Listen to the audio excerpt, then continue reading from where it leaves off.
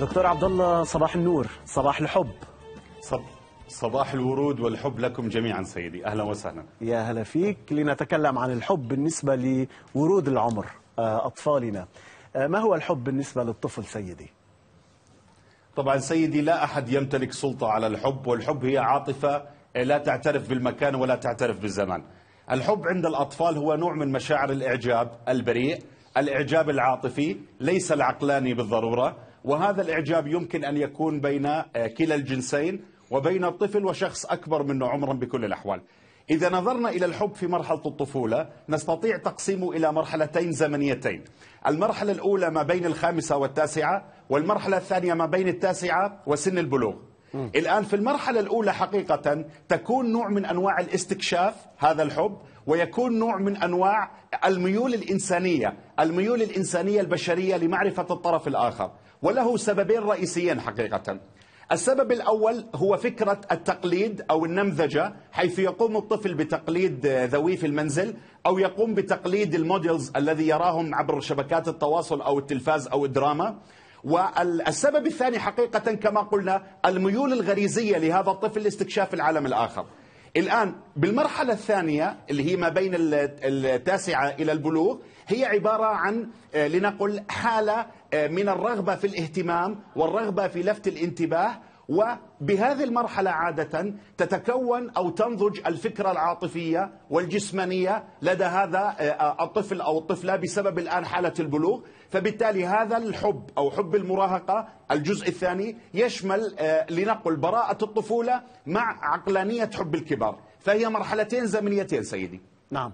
ابقى معنا دكتور أبو عدس لنذهب ونزور بعض المغرومين من الصغار. كيف اعترفوا بحبهم؟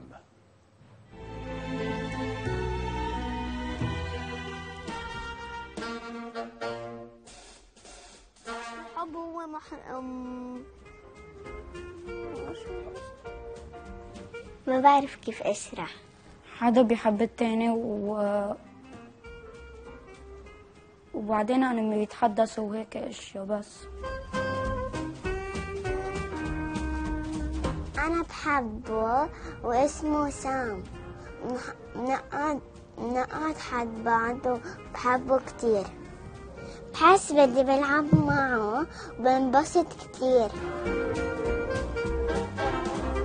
كانت معي بالصف كنا نحكي عادي إنه نحكي يعني مثلا أنا ورفقاتي أو إنه هي كانت هيك مثل مثل إنه هيك رفيقتي بس كانت تحبه اشتقت له لكل يوم لأنه ما بشوفه لأنه لا. لأنه في كورونا. إذا حدا بيقول لي بحبك بنبسط. ما فيني أخبريك ما فيني. ما فيني. بس أحلك شو اسمها بس هي حلوة. جبت لها إسوارة وكادو. بستحي لما بشوفها و... حبيتها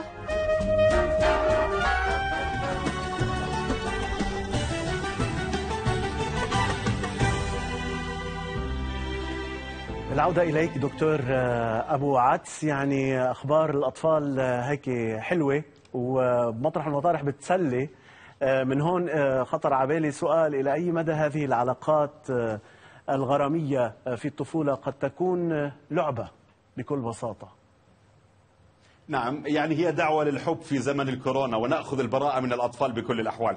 واحد من أسباب حب الطفولة ال- ال- ال- في الفترة الأولى حقيقة هو عبارة عن صداقة وهو عبارة عن تعلق وانجذاب بالطرف الآخر. إذا نظرنا إلى التوقعات من هذه العلاقات معظم هذه العلاقات يعني 85% من هذه العلاقات تنتهي ويبقى جزء الآن يمتد كصداقة وجزء الآن يموت ويعود تفعيله بعد فترة من العمر. فبالتالي الآن الصداقة تلعب دور آه، حقيقة مهم جدا آه، في هذا الانجذاب الذي يعرف عند الأطفال على أنه مشاعر الحب اتجاه الطرف الآخر. نعم. نعم. آه، لنأخذ بعض تعليقات مشاهدينا لو سمحت من تسمي نفسها هدوء الليل تقول غير طريقة الحب اللي بداخل ابني من حب عادي إلى حب صداقة حب أطفال لأن الطفل يكسب مما أعلمه إياه وأزرعه في فكره آه، هنا ننطلق من آه، تعليق هدوء الليل لنسأل عن كيفية تعامل الأهل مع هذه العلاقات الغرامية التي يفسح عنها الأطفال ما هي الطريقة المثلى للتعامل مع هذه الأخبار؟ نعم في المرحلة الطفولية الأولى بين الخامسة والتاسعة آه، هناك نقطتين أساسيات في التعامل مع هذه المشاعر عند الأطفال حقيقة. النقطة الأولى الهدوء النسبي وعدم الآن آه، قمع هذه المشاعر حقيقة وعدم تهميشها لأن هذا يؤدي إلى آه، الفضول لدى الطفل ويؤدي حقيقة إلى التمرد لدى هذا الطفل. وعلى المقابل لا يجوز الآن تعظيمها ولا يجوز الآن أخذها على أنها إنجاز عظيم لهذا الطفل لأن هذا الموضوع يؤدي إلى تعزيز السلوك وبالتالي يقوم الطفل بالدخول بالعديد من هذه العلاقات آه، للفت انتباه أهله. وهذا الآن الهدوء يفتح المجال للنقطة الثانية المهمة ألا وهي الحوار الهادئ؟ هذا الحوار الآن يتضمن وضع حدود للعلاقة بين الجنسين. تعريف المرحلة الزمنية ما هي متطلبات هذه المرحلة؟ كيف الآن آه، حقيقة أن لا نجرم هذه المشاعر لكن ليس وقتها الآن. لربما الآن خلال المستقبل نستطيع الآن البحث فيها بطريقة أخرى. فبالتالي الحوار الهادئ المرن المتزن من دون قمع ومن دون الآن آه، يعني آه، زيادة إعجاب في هذه المشاعر هي أفضل الطرق الآن في التعامل مع الأطفال في المرحلة الأولى. في المرحلة الثانية وهي مرحلة المراهقة المراهقة حقيقة هذه المرحلة صعبة نوعا ما لمجموعة من الأسباب. السبب الأول حقيقة أن هذه المشاعر عادة يحكم عليها بالإعدام. يعني لا نستطيع الآن أن نشرعن هذه العلاقة وأن تنتهي بالزواج أو الارتباط مثلا. والنقطة الثانية أن مرحلة المراهقة تتضمن عنفوان من المشاعر وعنفوان من عدم القدرة على السيطرة على الذات. فبالتالي نجد صعوبة كمختصين وكأهالي في التعامل معها حقيقة. والنقطة الثالثة يعني القطع الجغرافي ما بين الطرفين أو العزل الجغرافي أحيانا يكون صعب. يعني لو نظرنا إلى هذه القصص نجد أن أشهر قصص الحب في التاريخ هي قصة حب بنت الجيران. أو قصة حب الأقارب أو قصة حب ما بين تلميذ ومدرسه أو تلميذة ومدرسها. فبالتالي الآن الفصل الجغرافي صعب حقيقة. لكن كحالة عامة نستطيع وضع مجموعة من الأطر للتعامل مع هذه العلاقات بطريقة علمية بدون الآن نوعا ما أن نؤثر سلبا على الطفل. النقطة الأولى يجب إظهار التعاطف إلى هذا الطفل. التعاطف هنا يعني أننا نفهم الذي يعانيه هذا الطفل ولا يعني الموافقة آه، حقيقة ولا الرفض. يعني نحن نفهم ماذا يقول ونبدي له آه، الفكرة بأننا نستوعب الذي يقول أو الذي يعاني منه. النقطة الثانية نحن دائما موجودون يجب أن نشعر الطفل أو المراهق بأننا دائما موجودون حتى نستمع منه حتى نتناقش ونتحاور في هذا الموضوع لأن السماع من المربي أو المختص أفضل من السماع من المصادر الخارجية لأن المعلومة تكون مشوهة في هذه الحالة حقيقة. النقطة الثالثة المهمة كذلك يجب أن نتعود أن هذا الحوار هو حوار دائم وستتكرر فيه نفس الأسئلة. فهنا يجب أن نوضح لهذا الطفل بأن المشاعر هي حالة لا إرادية. لكن العلاقة مع الطرف الآخر هي حالة لا إرادية. وبالتالي هذه العلاقات في هذا العمر حقيقة مشاكلها أكثر بكثير من فوائدها. نركز على هذه النقطة مع الطفل. النقطة الرابعة إذا استصعب الأمر نحاول أن نعزل أو آه، نعمل حالة من البعد الجغرافي بين آه، الأطفال حقيقة. والنقطة الأخيرة دائما آه، أن نحاول أن نبني برنامج سيكولوجي اجتماعي داعم لهذا الطفل أو المراهق. يعني نركز على مهاراته نحاول أن نعزز من آه، إدراكه لذاته نحاول أن نعزز من ثقته بذاته نحاول أن نشغل وقته عن طريق الأنشطة الأسرية أو العائلية أو ما إلى ذلك.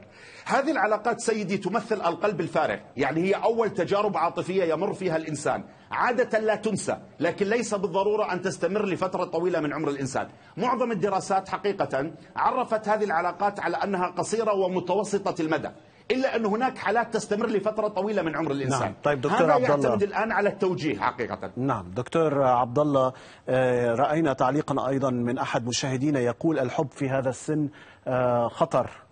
آه، إذا ما ازداد هذا السلوك. سلوك يمكن لفت الانتباه أو يمكن هناك مشاعر صادقة بالنسبة للطفل ولكنه يبالغ بها ويفتخر بها أنا مغروم بزميلتي في المدرسة أو ببنت الجيران إلى آخره إذا ما أصبح هذا السلوك قويا ونافرا هل تنصح الأهل بأن يبعدوا هذا الصبي عن هذه الفتاة أو هذه الفتاة عن ذلك الصبي؟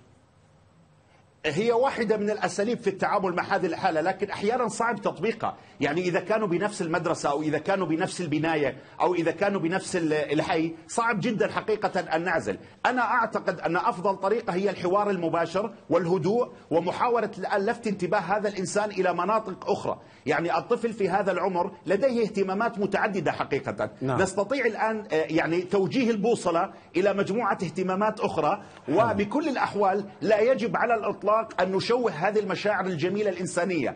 أن نحكم عليها آه، يعني. آه، نعم ابدا هذا الموضوع خاطئ. نحاول بقدر الإمكان أن نقننها ونخرجها بطريقة مقبولة. وكما قلنا بالطفولة الأولى معظمها مشاعر صداقة حقيقة ومشاعر انجذاب بكل الأحوال. وليست مشاعر رومانسية كالمشاعر الموجودة لدى البالغين بكل الأحوال.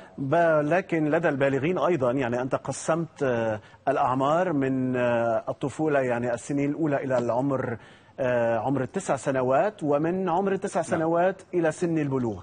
من التسع سنوات إلى البلوغ قد تدخل الميول الجنسية أيضا في هذه العلاقات. نعم. كيف نوجهها؟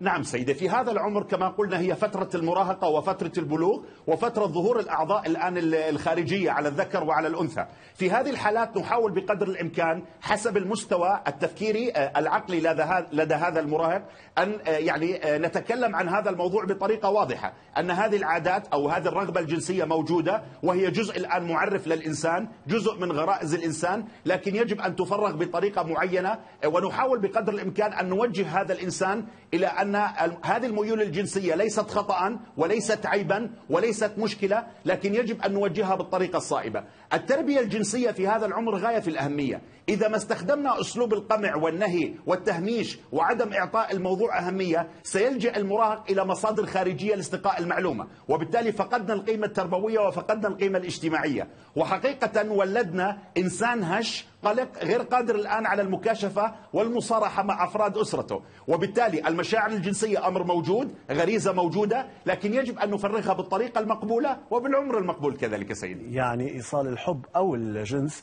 الذي يفترض أن يكون تعبيرا عن الحب بطريقة طبيعية. خالية من الخوف اولا. نعم. الاستشاري في الطب نعم. النفسي الدكتور عبد الله أبو عدس كنت معنا مباشرة من عمان. شكرا لك.